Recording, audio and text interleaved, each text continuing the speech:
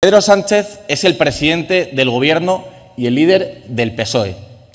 Pedro Sánchez pacta con Bildu, filoterroristas, herederos de ETA y concede favores penitenciarios a todos los presos de la banda terrorista ETA. Y pudiendo manifestar disconformidad, asienten. Y ese es un silencio cómplice con los actos de su jefe, el jefe de su banda. Pedro Sánchez, Pedro Sánchez indulta a golpistas condenados por los delitos de sedición y malversación de fondos públicos por sentencia del Tribunal Supremo. Y ustedes, pudiendo hablar, callan. Y ustedes, pudiendo manifestar disconformidad, asienten. Y ese es un silencio cómplice de ustedes con los actos incorrectos de su jefe, el jefe de su banda. Pedro Sánchez promueve la modificación del Código Penal para desnaturalizar el delito de sedición, para favorecer la impunidad de quienes han cometido un golpe de Estado contra la unidad nacional. Y ustedes, pudiendo hablar, callan. Y ustedes, pudiendo manifestar disconformidad, asienten. Y ese es un silencio cómplice con los actos incorrectos de su jefe, el jefe de su banda.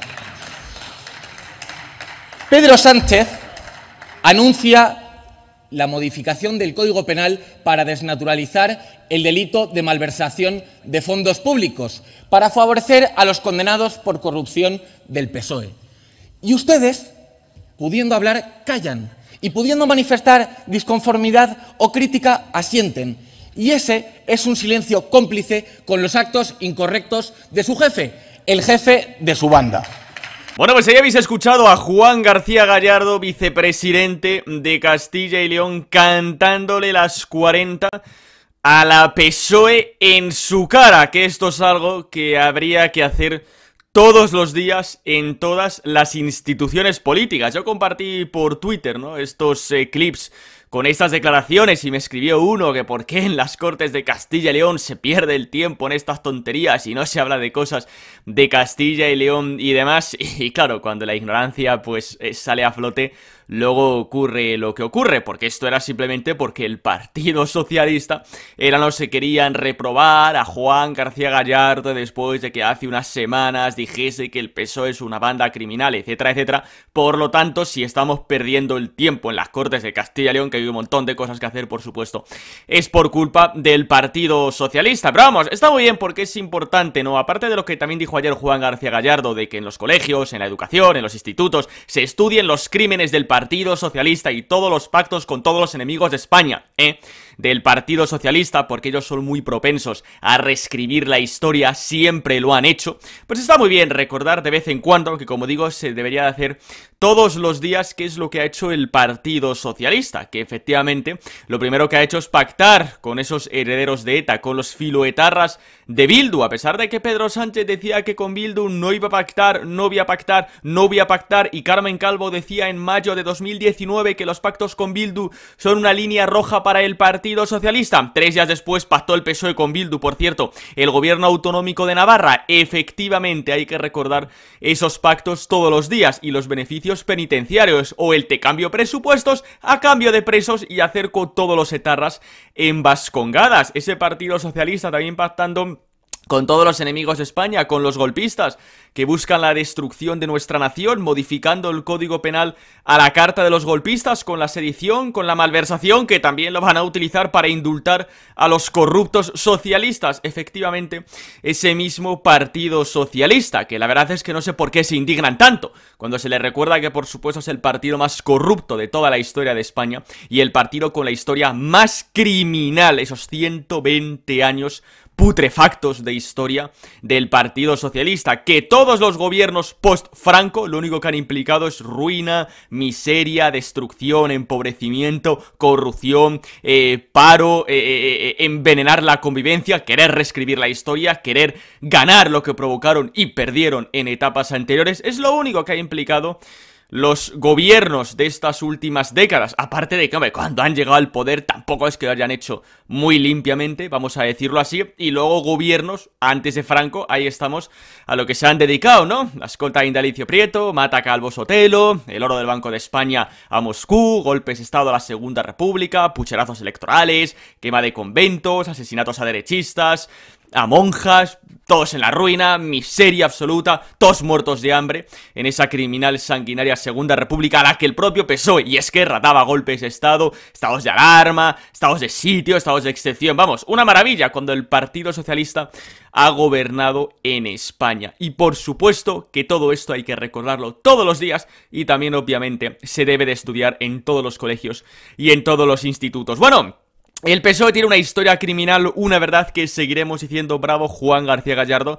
El tuit que ponía eh, Vox y también el portavoz de Vox, en este caso en las Cortes de Castilla y León, David Hierro, diputado por Palencia, no existe un PSOE bueno, es un mito. Y esto es muy importante, no como el Partido Popular, que, bueno, no sé, reclama que vuelva el PSOE de Felipe González, dicen que el problema es Pedro Sánchez, que no, que el Partido Socialista en toda su historia ha sido igual de malvado, no hay ninguna diferencia, no existe el PSOE bueno y es un cáncer político completamente que tengamos un partido socialista en España. Y es tristísimo ver cómo los partidos socialistas están desapareciendo en media Europa y aquí todavía nos tenemos que comer al puñetero, ¿eh? Partido Socialista. Bueno, el PSOE tiene una historia criminal. Bravo vicepresidente Juan García Gallardo con los diputados de Vox puestos en pie, aparte del kiosquero Podemita ahí detrás, pero bueno, y aplaudiendo esa magnífica intervención de Juan García Gallardo que podéis ver completa en redes sociales, en su cuenta de Twitter, cuenta de Twitter de Vox y también Vox Cortes de Castilla y León y un servidor que también lo subió ayer en Twitter, porque como digo son intervenciones que habría que hacer todos los días y esto habría que ponerlo todos los días en todos los medios de comunicación y todos los días en todos los colegios e institutos y universidades universidades de España, eh, para que la juventud sepa si alguno tiene intención de votar al Partido Socialista, lo que realmente está haciendo y a quien realmente está votando. Pero bueno, más allá de esta grandísima intervención de Juan García Gallardo, lo importante, el pleno que se celebraba ayer en las Cortes de Castilla y León, como el gobierno de Partido Popular y Vox sacan adelante esa reforma fiscal. Castilla y León que va a tener el segundo tipo mínimo del IRPF más bajo de España y una de las comunidades con los impuestos más bajos, lo ponía Vox en Twitter, Castilla y León se convierte desde hoy en referente de bajada de impuestos siembra las Cortes que rubrican, eh, rubrican perdón, esa mayor rebaja fiscal de toda la historia de Castilla y León, que por supuesto no va a ser la última y en próximos meses o años, en estas, bueno, en el tiempo que queda de legislatura, por supuesto, se van a seguir haciendo, porque cuando Vox está en un gobierno, las políticas cambian y ahí lo vemos a nivel económico, se bajan impuestos, se fomenta el sector privado, el emprendimiento, inversiones al campo, a la industria, se le quitan subvenciones a los sindicatos, se recortan el gasto político, se recorta las asignaciones a cada grupo político, a publicidad institucional y demás tonterías y el dinero va a verdaderas emergencias sociales, a la familia o fomentar la natalidad, a los autónomos, una fiscalidad también especial y diferenciada en el mundo rural, deducciones fiscales por número de hijos, etcétera, etcétera, porque ya sabéis que la natalidad y las familias siempre en el centro de las políticas públicas. Que Vox esté en un gobierno implica que se hagan otras políticas económicas y que el dinero vaya destinado a verdaderas emergencias sociales, es decir, sentido común, que es lo que se está aplicando en esta ley de rebajas tributarias, esas medidas tributarias que contribuyan a apoyar a las familias, incentivar la inversión, el ahorro y el consumo en materia del IRPF, también esa fiscalidad favorable y diferenciada para el medio rural, todo el desarrollo económico en las zonas rurales y las actividades económicas del mundo rural, que es algo por supuesto muy importante en Castilla y León, con todo el tema de tasas, licencias de caza, eh, pesca y bueno, vemos ahí en este caso más cuestiones en materia del IRPF, tipos reducidos, eh, atraer empresas, el empleo, el emprendimiento y también cuestiones para el mundo agrario, el campo, que sin duda es una actividad económica muy, muy, muy importante en Castilla y León, como digo, mejorando a nivel económico y todo esto gracias a la presencia de Vox dentro del eh, gobierno, mientras que el Partido Socialista de Castilla y León pues siga tonterías, ¿no? Pidiendo que cesar a Juan García Gallardo, porque dice que...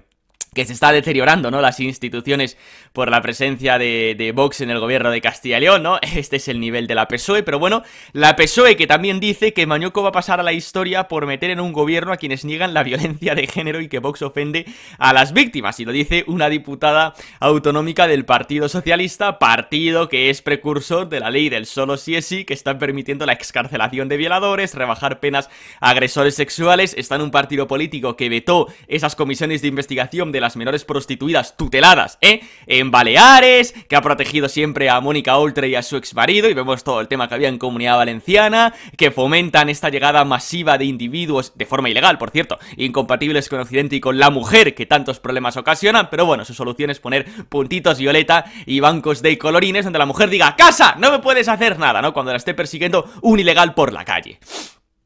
Tiene cojones, ¿eh? Lo del Partido Socialista. La verdad es que es increíble, por cierto, un Partido Socialista que obviamente no quiere proteger a todas las víctimas, no defiende cadena perpetua para los violadores y agresores más, eh, eh, bueno, pues que más delitos graves, o los más graves delitos, perdón, hayan eh, em, em, cometido, y digamos que es un partido político que, claro, en función de quién cometa el delito, lo pongo en redes sociales o lo callo y lo oculto, como ocurre con Irene Montero, porque por supuesto las mujeres o las víctimas en general a esta gente les importa un pin y bueno, Luis Tudanca también del PSOE de Castilla y León, fijaos qué curioso.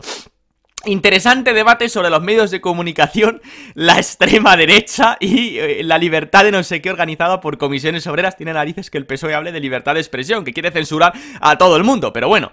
Y habla aquí de periodismo libre y periodistas con condiciones dignas para la democracia. Claro, periodismo libre para el Partido Socialista son medios de comunicación que le lamen el culo al PSOE, que mienten y manipulan sobre la oposición, que llama fascistas a todo el mundo y que se encarga de recibir millones de euros de subvenciones que trincan a base de impuestos a la gente trabajadora que por supuesto no ve estos medios de comunicación, bueno, de comunicación, de desinformación, de manipulación y mamporreros ultraizquierdistas. Joder, la verdad es que tiene, vamos, tiene una idea de periodismo libre Luis Tudanca bastante curiosa, la verdad. El mismo periodismo libre que hay en el chavismo, en Corea del Norte y en Cuba. Ese es el periodismo libre que quiere el PSOE, Podemos y toda esta banda, que es lo que es, una banda completamente. La verdad es que es bastante increíble Pero bueno, cerramos el vídeo con los últimos ridículos, ¿no? De Lo País y de Pablo Echenique Hay que decir que hoy este pequeño vídeo que estábamos viendo, por cierto Después de un directo que hemos tenido esa tarde Es exclusivo de mi tierra, de Castilla y León Porque decía Lo País, ¿no?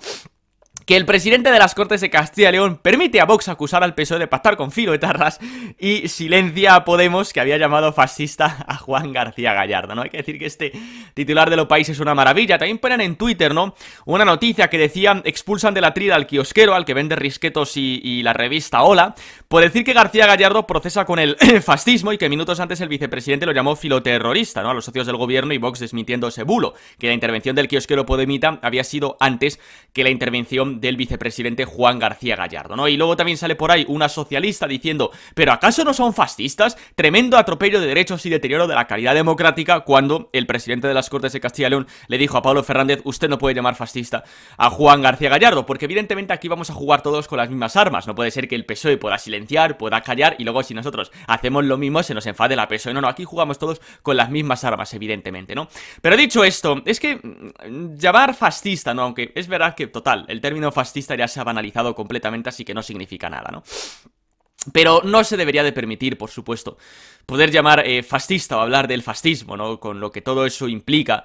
Eh, en este caso, en la tribuna de unas cortes, en las cortes de Castilla y León, y sobre todo llamar fascismo a alguien que no lo es, o fascista a alguien que no lo es, eso por supuesto que no se debería de permitir, porque ahí está siempre la izquierda, embarrando el terreno y fomentando el odio, que es lo único que saben hacer, ¿no? Ah, bueno, pero es que Juan García Gallardo dice que los socios de Pedro Sánchez son filoetarras. Hombre, es que que yo sepa, quien va a homenajes de ETA, quien defiende a ETA, quien habla de presupuestos por presos, quien pone tweets eh, eh, homenajeando a ETA y demás, eso yo creo que es un amigo de ETA. Es decir, un filoetarra. Por supuesto que a un filoetarra se le puede llamar filoetarra sin ningún problema, porque es que lo es. Y por cierto, muchos se enorgullecen de serlo.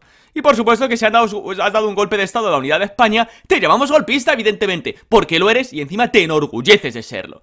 Pero lo de ir insultando a los demás cuando no lo son, sinceramente, no se debe de permitir. Por tanto, muy bien lo que ha hecho Carlos Pollán, el presidente de las Cortes de Castilla y León, por mucho que a la PSOE no le guste, o tampoco al de los eh, risquetos y al de, yo que sé, los estos que vende en, el periódico. Por cierto, Pablo Chenique, que también ha hecho el ridículo, ¿no? Diciendo, presidente de las Cortes de Castilla y León, no podéis adjudicar ideología fascista a los que profesan ideología fascista, es decir, que según Echenique somos fascistas, ¿no? Presidenta del Congreso, no podéis hablar de cultura de la violación respecto de una campaña que es cultura de la violación, es decir, según Echenique, el PP promueve la cultura de la violación y dice que así avanza la oscuridad. Ahora bien, luego tú no puedes decir que Irene Montero es ministra por haberse follado al Chepas, porque te dicen, no, eso es, eso es violencia política, ay, me pongo a llorar. Aquí se viene llorado de casa. Y por supuesto, obviamente, eh, permitiendo... Eh, obviamente el libre ejercicio de la libertad de expresión, pero en base de mentiras, de manipulaciones, de insultos y odio, que es lo único que sabe hacer esta ultraizquierda radical, comunista, chavista, bolivariana, que ojalá pase o se vaya al vertedero de la historia y si puede ser también con el Partido Socialista. Pues nada, simplemente hasta aquí este vídeo de jueves 1 eh, de diciembre, por cierto, primer día ya del último mes del año, sí que se ha pasado rápido el 2022, increíble, pero bueno, nada, si os ha gustado le podéis dar like, os podéis suscribir, podéis dejar un comentario y ya nos vemos estos próximos ya semanas con más vídeos aquí en el canal. Hasta luego.